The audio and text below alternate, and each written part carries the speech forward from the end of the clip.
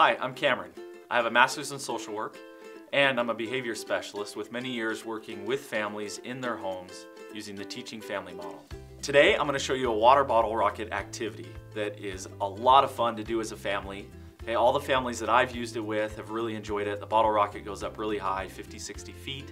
And this is a great activity to use with following instructions. So what you're gonna need for the water bottle rocket activity is a two liter bottle. You'll need two cups of water, one cup of vinegar, and this is the cheapest white vinegar that you can buy.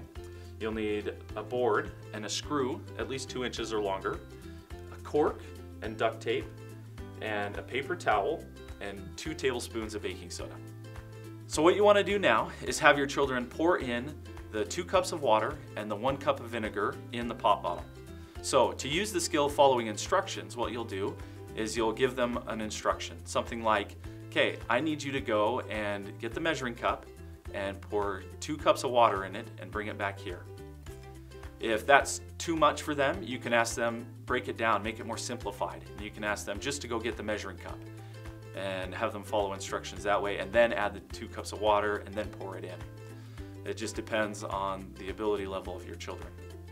So, but you want to make sure that they follow the instructions, that they look at you, that they say okay, that they go do the instruction right away, and that they come back and recognize it somehow that they that they completed it. Whether it's I did it or awesome, hooray, jumping up and down, whatever type of recognition they want to do or that you want to do that's fun.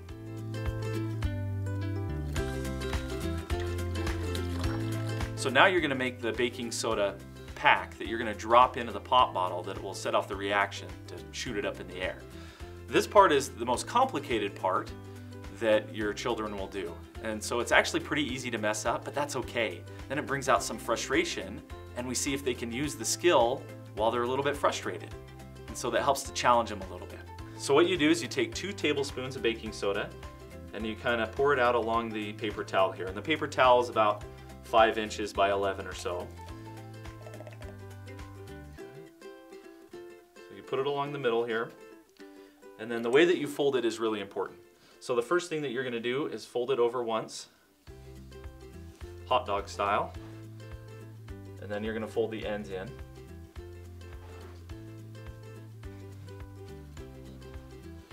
And then you're gonna just wrap it tightly because it needs to be small enough to fit into the top of the pop bottle and be able to drop in.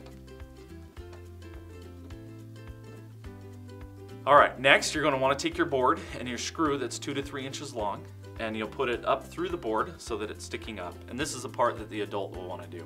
Then you'll have your cork, and I've wrapped this cork in duct tape to make it fit tighter into the pop bottle so it really fits on there well.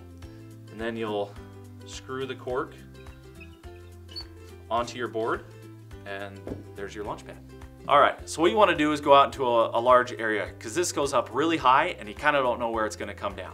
So you'll take your launch pad, which we have right here, and your baking soda pack. And then what you'll do is you'll insert this into the pop bottle and you'll just hold it right above before dropping it. You'll take your launch pad in your other hand and then you'll drop this uh, baking soda pack into the bottle and quickly put this on the top and then you'll flip everything over. It may take a minute or so or just a couple seconds, but kind of varies each time. That's what makes it fun. And then it's gonna explode and shoot off.